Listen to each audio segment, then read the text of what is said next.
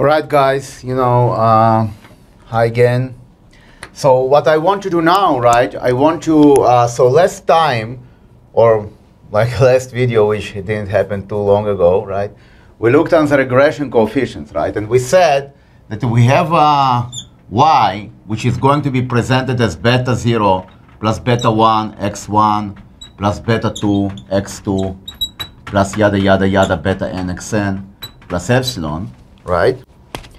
And we said that in this case, okay, we know that our betas are actually x transpose x inverse times x transpose y.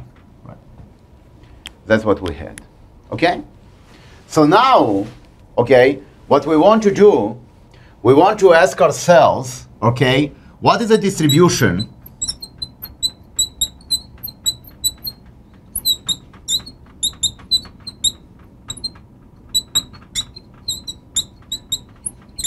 of beta.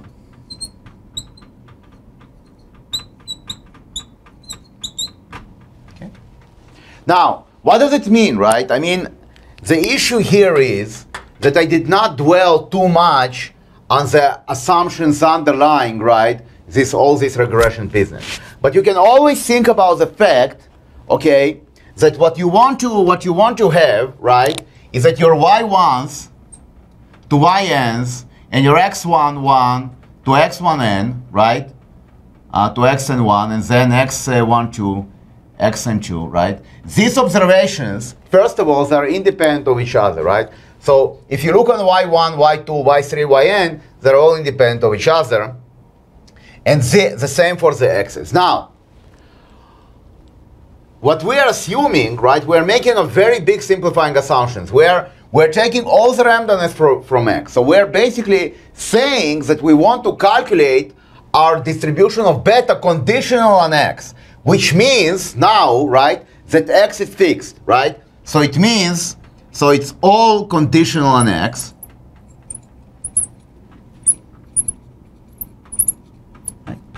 And we're relying, but so where, where is the randomness coming from? The randomness coming from Y, okay? The randomness coming from y, okay? But, so in this, in these presentations, ra randomness will come only from the residue, from the epsilon, right?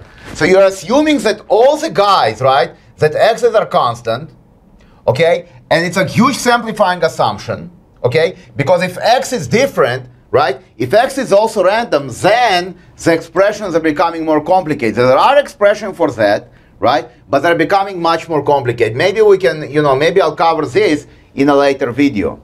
But now we're, doing a simplifying assumption that all the randomness is coming from epsilon, okay? So then it means that, you know, these betas, right, are going to depend basically on the randomness of epsilon. Because you can think about it in this way. Okay, you know x, you're sampling y once again, right? This is just one observation. You know that y are, you know that you know that y are normally distributed, so you're going to sample another y. You're going to get some other series. You're going to run the betas. You can have slightly different coefficients, right? So every time you sample a new set of observations for y, you run these regressions, you can get a different coefficients, right? But because you know x's, it will all come from this epsilon? Now, once again, we're, you know, we're not looking on the betas themselves, but we're looking on, you know, on betas average them on, uh, you know, a lot of times, okay? So when you average beta a lot of times, what do you get, right? You're going to get beta head, right? And this beta head, now, uh, you know, uh, the distribution of beta, or the distribution of average beta, let's say we're looking on average beta, right? It will be basically some, it will be a, you know, some, some, some sort of a normal distribution by some sort of a version, by some sort of a, you know, of a central limit theorem. Of course, if mathematicians, you know, look, watching these videos, they will chop my head alive. Because of course I'm wrong and, you know, you have to put a lot of assumptions that it works. But uh, in the financial world and in the industry, right? And I think a lot of times in statistics, you kind of, you know, sweep those, uh, uh, you know, sweep those assumptions under the rug and you assume you're making a very easy simplifying assumptions that this guy is going to have, you know, uh, um, normal, you know, normal, uh, normal distribution. Now, because you have more than one beta, right? You are going to have what do you are going to have? You are going to have a multi-normal distribution, right? Beta hat, beta hat, which is a vector, is going to be distributed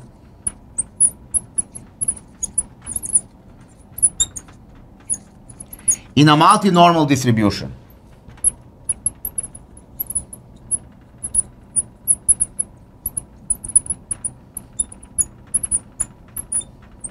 Okay. So for now multi-normal distribution, you want to have the covariance of betas. You want to know what is the covariance of beta. So, and you also want to know the average. So the average is easy. The average is this. The average is basically going to be is my x transpose x inverse x transpose y. Right? So, you know, when you are running it, when you are running these regression coefficients, right, the first time you're going to get, you know, uh, the betas using these formulas, you assume that the average is distributed like this, comma, right? And now you want the covariance matrix. And the covariance matrix is going to be x transpose x inverse times sigma square. And sigma square is going to be the variance of epsilon. Okay? So, you take the residual, right? You take its variance, and you multiply by the matrix which controls them on, right? This is your Sauron, this is your uh, Lord of the Rings matrix, right? And you get a certain matrix which will be a copy, which will be a multiple of your, you know, of your original matrix of x's. Okay? So you can say that your distribution is actually very close to the original distribution of your x transpose x, right? Because it's just multiplication by sigma square, and right? So once you have this, okay, that's your average betas. Now, this is a very important thing. These betas, right, are multi-normal distributed. So for example, for example, if you have two, if you have let's say two bet, if you have two betas, okay, beta one and beta two, and by the way, this also includes the intercept, right? Because beta zero is your intercept, and x transpose, remember the ones, right, are part of this matrix. So this formula is actually nice and includes the intercept and the neat thing about this is this formula is going to collapse to the formula, you know, to the usual formula we had, this covariance of xy divided by the variance of x for beta, right, in the one-dimensional case. Right? So if you take this matrix, right, and you do the whole shebang, you it's a two by two matrix, right? Because you have the intercept and you have the first coefficient. And you do the whole shebang, you invert it, right? And you look on that, you're going to get that beta equals to this. Okay? Now, maybe I'll do it, maybe not, but it depends on, on you guys, right? So when you have something like that, okay, if you have two coefficients, right, what will be your, what will be kind of your, what, how can you think about it, right? Remember, we talked about confidence intervals, right? Confidence intervals is areas, okay, of the, you know, is certain areas which include 95% of the distribution. In this particular case, right, you have a two-dimensional normal distribution for beta 1 and beta 2. I'm not including the intercept. I'm just looking at beta 1 and beta 2. So it's going to be something like that. It's going to be an ellipse, right? In a three-dimensional case, it's going to be an ellipsoid. In a four-dimensional case, it's going to be a four-dimensional ellipsoid. Now, to create those ellipsoids, right, you can, but it takes, it takes, you know, it's a little cumbersome. So how do people address it? How do people solve it? Well, people say the following. We will, we will create, right, confidence intervals for betas.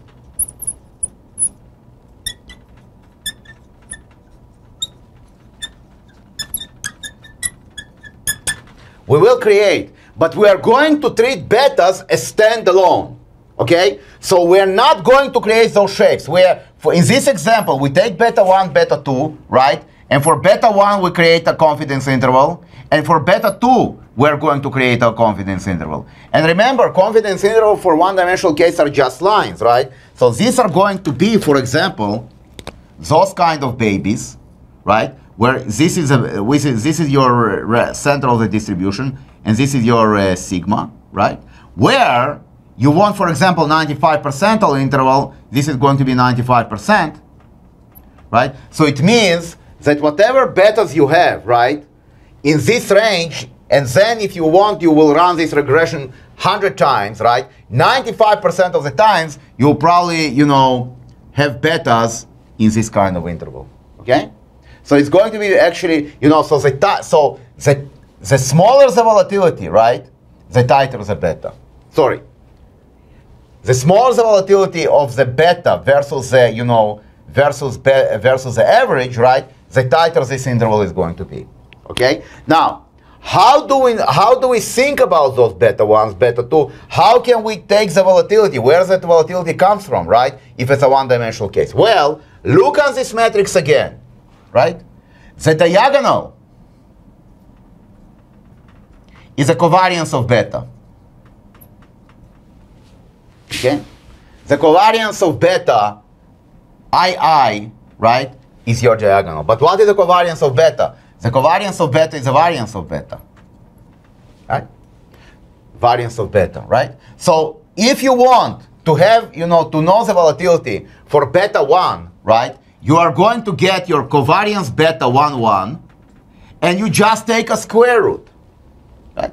And you will find your volatility of beta 1, 1. If you want the volatility of beta 2, 2, you do exactly the same. You take the covariance, right, of beta 2, 2, right? And you take the square root and you'll find the volatility of beta 2, etc., etc., etc., etc. Okay? So if you have million dollar, million things, you will have a million matrices, yada, yada, yada, yada. Now, just remember, right, that these guys are actually, you know, are actually switched, you know, moved by one because beta, beta 1 and beta 2 are actually, you know, are actually like the second thing in this X transpose X because the first one is the intercept. So maybe here, right, you want, you know, it depends on your enumeration, but if you have beta 1, right, it's maybe not beta 1, 1, but maybe the beta 2, 2, right? So I, I, you know, I hope that you, you understand what I mean, okay? Because the first one, the first thing is your volatility, right? So if we have, let's say, so if we have in this presentation beta 0 plus beta 1, right? So covariance beta 1, 1 is going to, if you start your enumeration in x transpose x with 1, this guy will correspond to this guy. This guy will correspond to this guy. However, if you started from 0, right, so your x, x transpose x, your first row is zeros, right, this guy will correspond to this guy, and this guy will correspond to this guy. So it depends on your enumeration, but I think you, you get the point. Okay? So you know, so basically, once you have these sigmas, right, then you can con construct your, you know, your, your, your confidence intervals, and then you'll be ready for hypothesis testing. Okay? So next video, we're going to talk a little bit more about hypothesis testing. Thank you very much, and have a great day.